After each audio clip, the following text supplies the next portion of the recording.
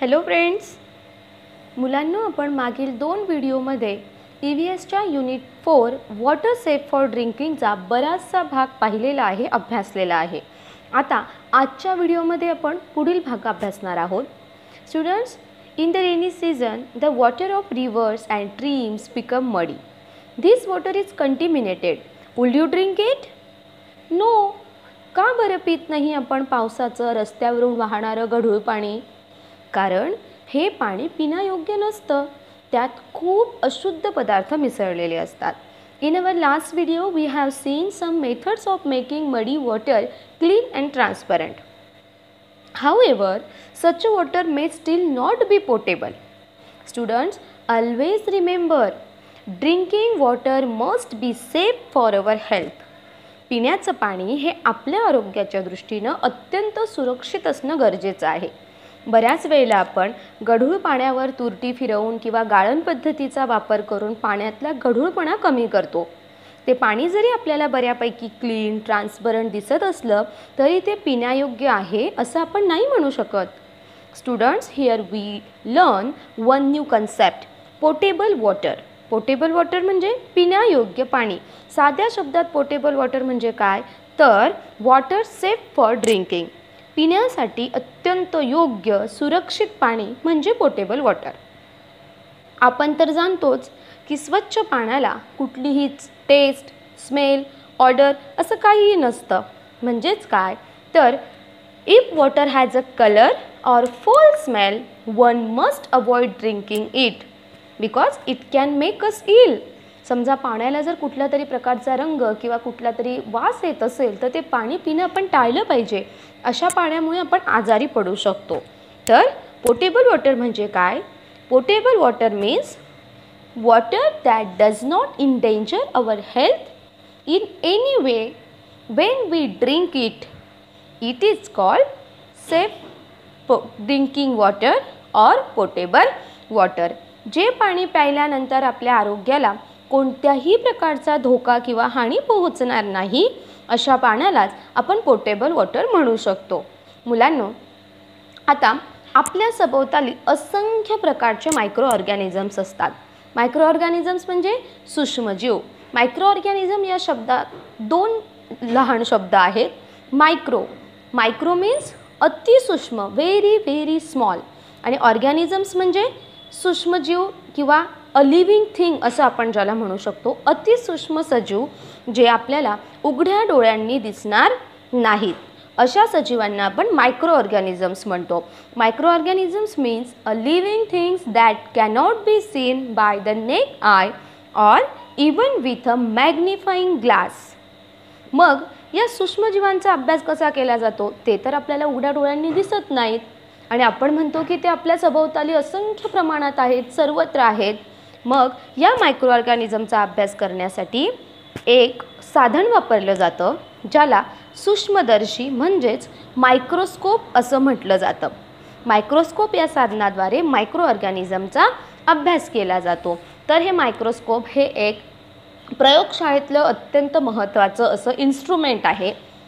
Microscope and instrument for looking at very very small things which we cannot seen with our eyes or even through a magnifying glass तर मुलांनो मी परत एकदा म्हणते की हे micro organism आपल्या आजूबाजूला सर्वत्र असतात. Micro organisms are present everywhere anywhere micro organisms are present in soil in water in air on rocks even on body of animals also पाण्यात मातीत हवेत खडकात जमिनीवर एवढंच नव्हे तर सजीवांच्या शरीरावर प्राण्यांच्या शरीरावर सुद्धा असंख्य सूक्ष्मजीव असतात. आता हे जे सूक्ष्मजीव आहेत हे असंख्य प्रकारचे असतात. There are numerous kind of micro organisms around us असंख्य प्रकारचे हे सूक्ष्मजीव असतात.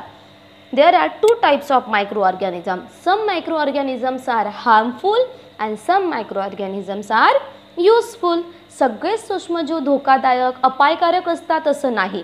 तर काही युजफुल म्हणजे उपयुक्तसुद्धा असतात. तर काही हार्मफुल म्हणजे अपायकारक असतात हानी पोचवणारे असतात. मग असे हे हानी पोचवणारे जे मायक्रो ऑर्गॅनिझम्स असतात ते मायक्रो ऑर्गॅनिझम जर समजा मानवाच्या शरीरात गेले तर काय होतं? तर जर सूक्ष्मजीव अन्नातून पाण्यातून हवेतून कुठल्याही माध्यमातून जर आपल्या शरीरात गेले आणि ते जर हार्मफुल मायक्रो ऑर्गॅनिझम्स असतील तर many harmful micro organisms can spread different type of diseases तर हे हार्मफुल मायक्रो ऑर्गॅनिझम अनेक विविध प्रकारचे आजार पसरवतात. अनेक आजारांचं कारण हे सूक्ष्मजीव असू शकतात.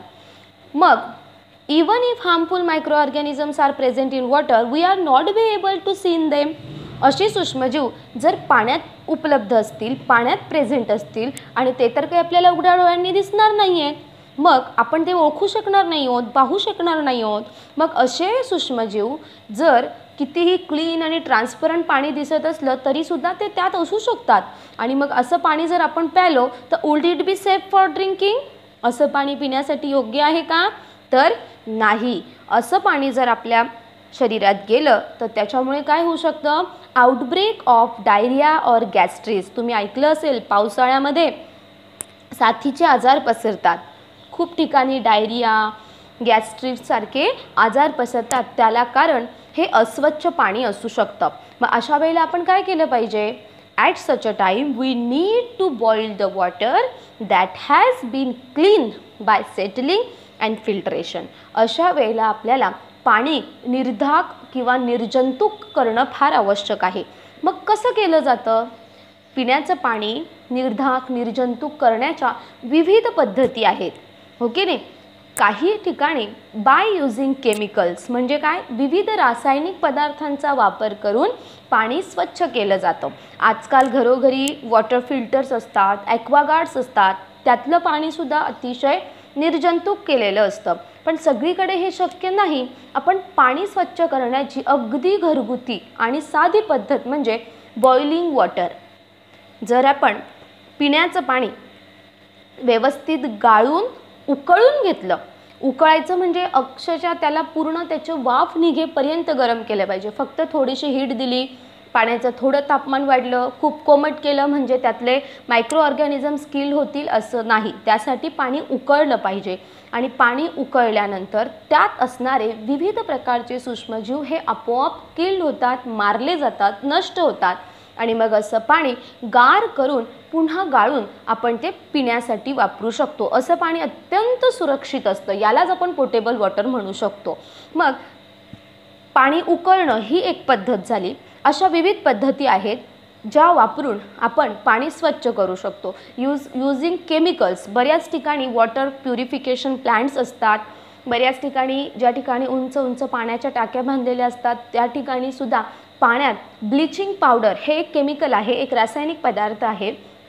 ब्लिचिंग पावडर पाण्यात मिसळून पाणी निर्जंतुक केलं जातं.